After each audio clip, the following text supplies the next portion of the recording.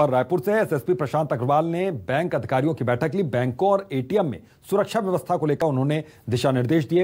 SSP ने औचक निरीक्षण में पाई थी बैंक और एटीएम की सुरक्षा में कमी।